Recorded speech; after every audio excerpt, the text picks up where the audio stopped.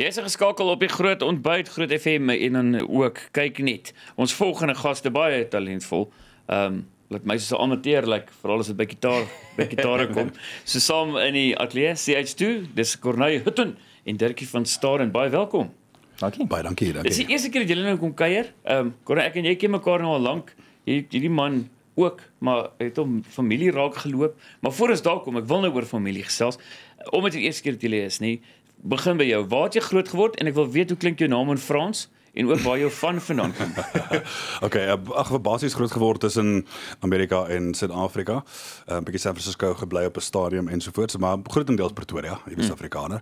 Ehm um, en uh, die um, ek sê eintlik snaaks want uh, natuurlik het hulle my gevra oor die naam van die spelling. My spelling van my naam is baie anders en dit is 'n mm. Franse spelling.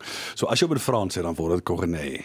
Wow, ja, nee. So, is hy so 'n bietjie van 'n van 'n twist dan hom. Yes. Maar ek sê maar vir mense gewoonlik is dit Corneille, so die Franse spelling is maar 'n bietjie anders. En dan die van Hutten, um, mm. is die Duitse weergawe. Yes. Uh, want gewoonlik is dit T O N H U T T O N is die Engelse ene. Yes. Myne is T E N wat die Hutten Duitse ene is. Sjoe, en nou maar in skool, waar was jy op skool?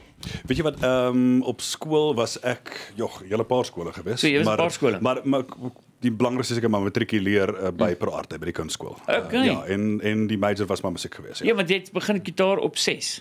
Nee? Ja, op 6 het gitaar begin eers klavier, klavier gewees. Jy sê jy kan hom nie saamvat nie. Ja, nee, ek kan hom nie saamdra nie. Hierdie ja. ding was te groot vir my. So toe sê my ma, kom ons gee maar vir die seun 'n gitaar, jy weet. 'n Gitaar is 'n cool instrument, ek kan hom saamdra. So op 6 begin en toe ook ehm um, later met klarinet as 'n tweede instrument en dis toe ons nou Pro Arte toe is, jy weet, en daar's baie baie goed gefokus op musiek, jy weet, en dan van klassieke hmm. opleiding. Dit is altyd jaloers vir mense wat by Pro Arte was, altyd. Ehm um, saam met die Ami met 'n paar ouens gewees. ja. uh, Dirkie, jou agtergrond, waar was jy op skool? Waar kom jy vandaan? Ek is eintlik in Pretoria gebore. Okay. Snaaks genoeg, maar toe ek so 1 jaar oud was, het ons um, Gilbersdal nou van daar af Mosselbaai te vir 6 jaar, maar eintlik uh, was ek 'n Kaapenaar mm. tot nou begin uh, uh laas jaar 2017 en toe ek na as gevolg van uh, CH2 het ek uh, getrek Pretoria toe. So ek was op 'n uh, matriek gewees by Bellville Hoërskool. Mm. En daarna gaan musiek swat by Stellenbosch. Sure. So ek het 'n uh, klassieke gitaar gestudeer. Ja en toe ook orkesinstrumente, die koperblasinstrumente, tuba, fonium, trompet en uh, orkeste gedirigeer onder andere so nadat het ek myself toe nou hier kom vestig. Ja, nou lyk like my CV baie. Yes, like ek swak. Dit lyk nou vir die vraag om eers dan as ek stil bly.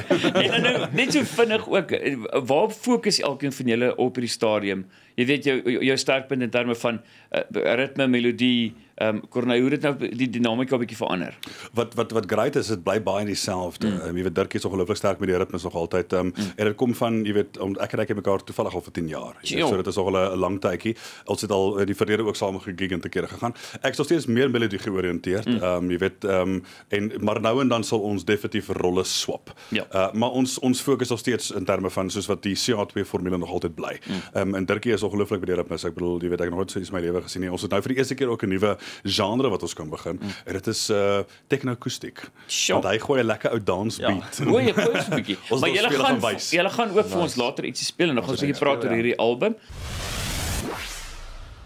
As jy nou die album moet opsom, Corneille Weet jy interessant, ek bedoel, jy weet veral met Dirkie se tipe ritmes, daar's definitief 'n bietjie meer van 'n dance element in, mm. maar nog steeds net die twee gitare. Ehm um, jy weet ons het baie ehm um, spesifiek gefokus om ook melodieë te skryf wat baie maklik onthoubaar is mm. vir mense. So 'n baie lekker luisteralbum, weer eens 'n goeie kombinasie van 'n bietjie klassiek, 'n bietjie van alles daarop. Jy weet 'n mm. paar goed wat mense bekend is op die oor en natuurlik baie eie komposisies ook. Ons begin byvoorbeeld die album met Billie Jean van Michael Jackson, mm. maar op akoestiese twee nylon snaar gitare. Mm. So baie baie interessant geweest en 'n baie lekker journey en baie van die goed was sommer gekombineer in die studio. Jy weet jy mm. kom in die studio aan en jy sê right, kom ons komponeer gou ietsie. So dis 'n baie baie lekker journey geweest die album. Mm. Dis 'n baie treffende cover ook wat jy het, ek moet sê. Mense weet nie of jy moet skrik en of jy moet uh, begin huil nie. Maar die titelsnit, hoekom het jy daarop besluit? Is dit 'n tema wat deurgetrek word ook miskien aan jou kant? Ja, weet jy Insomnia is 'n um, is 'n baie bekende dans hit gewees wat mhm. omtrent so in in die jaar 2000 gekomponeer is uh deur Faithless. Mm -hmm. So uh, ons het daai uh, song gevat en letterlik op 'n akoestiese manier techno-akoestiek soos Corneille genoem het, het mm. nou uh verwerk en hy het uh, regtig nice uitgekom en jy weet oral waar ons optree mense herken die wysie En ja. dit is 'n eenvoudige wysie, maar mense onthou die wysie. So dis nie dat een van julle dalk lei aan insomnia nie. Dit is nie dis nie. Weet jy, dis nou baie snaakse vraag daai want ons het baie min geslaap in die eerste plek. Baie laat nagte gehad, ja. En um, ek het na die dag toevallig wat so 'n paar weke terug toe kon ek nie aan regtig slaap nie. Dis ek hoekom het ek die album insomnia genoem? ek kom ek kom curse my nou. Nee, ons ja. het ons het regtig baie laat nagte gehad. Ek bedoel dit is maar daai ding van jy kom in die studio en baie keer dan sit jy weet jy herwerk die goeders en jy spesiaal om op te neem en en so ja, dit is definitief een van die goeders geweest. Apart van die feit dat Dirkie in elk geval baie min slaap. So want hy bel my gewoonlik so 2:00 die oggend en sê hallo, hoe gaan dit? Ek kan ons 'n bietjie werk. ja, nou nog 'n nuwe idee. Ja, nog 'n idee gee as ek gaan slaap. Ons moet gou rekord. nou, hoe moeilik is dit? Uh, weet jare terug het ons vir DNA strings gehad hmm. in terme van 'n wit instrumentele groep. Ja. Ehm um, is dit moeiliker as het, as wat 'n oue band het wat iemand sing, maar omdat mense gewoond is hulle soek 'n vocal. Wat is die uitdagings dink jy? Weet jy, ek dink die voordeel van ehm um, kom ons noem dit nou maar 'n twee stuk band of 'n duo is ehm um, logistiek maak dinge baie makliker. Mm. Met ons het dan nog nie regtig besluit om te sing nie, maar dit is dit dit kan moontlik gebeur mm. as ons regtig kreatief raak. Ehm um, dit is 'n ander klank wat jy kry. Ek bedoel ek onthou destyds Dino Strings was een van my gunsteling mm. uh groepe gewees en ek luister hulle musiek nog steeds baie. Ehm um, maar wat ons anders maak is mos nou net die twee gitare so mm. ons ons uit 'n baie groot klank mm. met dit wat ons doen met die ritmes en ehm um, baie van die die opnames wat wat geleier is. So ehm um, ek dink daar's voor en nadele van albei groepe. Ehm um, jy het nie daai eh, boundaries wil ek amper sê wat jy het as jy jy weet sing nie. Mm. Dis instrumentaal. So die musiek vind aanklank by 'n groter gehoor. Mm. Nasionaal en internasionaal. Maar nou jy is nie bang vir collabs nie. Ek weet soos met Koenie al gewerk en nou ook hierdie jaar Chris Chameleon wat julle 'n paar yes. goed saam doen. Ehm um, jy weet ek, sal julle ooit so 'n CD uitbring? Jy verstaan wat ek sê, jy definitief op die kaarte, hoor. Ja, ek bedoel kunstenaars. Mm, dis altyd vir my 'n kwessie van jy weet as mense iets soos dit aanpak, die werk en energie wat jy insit, eh, vang dit vas. Jy weet mm. mense wil graag daar luister. Dit gaan ook 'n baie unieke produk wees.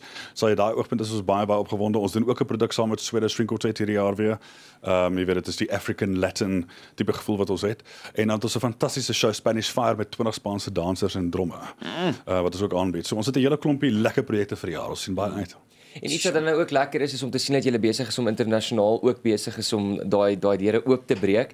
Uh julle musiek is dan nou ook opgeneem in die diskoteek uh, vir internasionale filmmusiek vir A-klas films. So ek weet nie mense julle kry dalk baie die vraag maar as jy moet besluit uh, tussen plaaslike en internasionale gehoor ek kan ook julle altyd vra wat verkies julle? Weet jy, dis interessant. Ons het nou al 'n hele klompie keer oor see opgetree en ek vind nogal dat die die reaksie wat ons kry, is baie dieselfde omdat ons iets uniek doen. Um, omdat dit ehm um, jy weet baie vinnig en visueel goeie impak maak op mense. So ek sal sê die gehoor is nogal jy weet baie dieselfde in terme van die reaksie vir ons. Ehm um, ek dink baie Suid-Afrikaanse sangers, veral die Afrikaanse sangers, ehm um, het 'n kleiner mark om jy weet in, hulle kan nie oor see reg gaan nie want die mense verstaan die taal nie. Jy weet as jy na België toe gaan, miskien Duitsland of Holland of wat ook al, kan jy dit nogal ietsie doen. Maar vir ons, ek kan in Japan gaan speel en almal verstaan musiek. Dis universeel, as geen taalgebondenheid nie. Dis ook hoekom ehm um, ek dink ons hoogwaarskynlik nooit regtig as 'n songband ooit sal bekend staan nie want mm. jy's juis anders jy is in 'n nismark mm. maar dit pas my soos aanskoon mm, verseker ja. ek dink dit is um, as ek vinnig kan aansluit daarbey jy weet as as mens mens kan nie jouself net in jou eie land be, uh, bemark nie as jy jy kom tot op 'n punt wat jy besef um, ons moet ons band verder bemark. Mm. En ehm um, daar's 'n hele paar radiostasies uh oor see in Amerika, is daar is daar 4, 5 state in Kanada. Uh en een van ons uh, oorspronklike uh, is net 'n Green Eyed Panther uh was so vir maand en 'n half gelede nommer 7 uh, top 10 in Australiese radiostasie. Ja. So dit was dit was nogals nice. Jy sien, maar jy gaan nie daai reg kry by die hoender nie.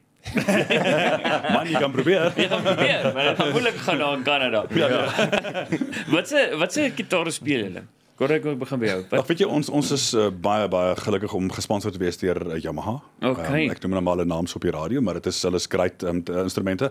En die, die idee van ons instrumente is ons het nylon klassieke mm. gitare, yes. maar hulle is hybrids, hulle is elektronies gedrewe. Okay. So jy kan 'n bietjie meer van 'n rock and roll, bietjie meer popmusiek aksie op hulle toepas. Hmm. en die genres um, en dit is waar die hele CA2 crossover ding kom waar ons daai tipe musiek vat. Dis klassieke gitare maar ons gebruik hulle in 'n popmusiek tipe tipe lyn hmm. so baie baie goeie gitare. Yamaha's NCX is hulle is die kode. Okay. en um, regtig regtig versatile harde instrumente ook. Jy weet jy wil nou nie met jou rosewood french polish gitaar optree by 'n fees op 'n stage in die son nie. Ja, so precies. jy weet my die Yamaha gitaar het al geval van tweede verdiepings af en dan tel hy op en gaan aan. Jy weet dit is ongelooflike harde instrumente. En 'n uh, mooi vasvra vir julle. Die jy sê nou van Rosewood, dit is die uh die die beste hout vir die gitaar in die een deel aan die mm. agterkant voor. Uh waar kom daai rooshout vandaan? Deesdae.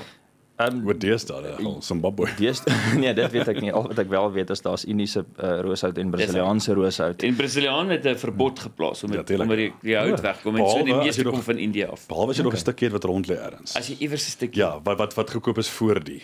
En dan baie vinnig. Hier's 'n vasvraag. Die duurste gitaar wat nog ooit verkoop is. Eish. Hy was Jy moet dra. Daar sal ek misdraai. Die skill wat ooit verkoop is as, as ek nie mis dit nie, was dit een van Eric Clapton se gitare. Yes, hy's onder die top 10. Wow. Uh hy en 'n gitaar van Hendrix en Bob Marley wat almal so ja. 2 miljoen dollar hy, gemaak ja. het, maar daar was 'n reach out to Asia en dit was na die tsunami. Mhm. Ehm um, was die man wat nou Brian Adams wat nou hier was, Mhm. het 'n gitaar laat teken en die ouens wat hom geteken het was Clapton, Page, Gilmore. Ehm um, en hy het Okay. verkoop vir 2.7 miljoen dollar. Ja, nee, as Gilmore mag teken dan soos Da- dan is jy daar, dan wil- jy so miljoen enigiemand. Ja. En daar is daar is 'n redelike goeie investment. Dis 'n goeie investering, so 50 miljoen vir 'n gitaartjie. Ja, Hoor, so- julle gaan nou nie vir die luisteraars iets speel nie. Julle gaan uh, dit gaan vir die kykers wees op kyk net. Uh, wat gaan julle speel net so vinnig? Weet jy wat ek dink ons gaan uh, Insomnia speel. Kom ons speel die titels net van die het album. idee. Ja. Ja. Julle gaan hou ons dan hou ons ons wakker. gaan wakker bly. Want ek het net al gepraat van vanaand se program. So op daai net baie dankie vir die kuier. Baie dankie julle.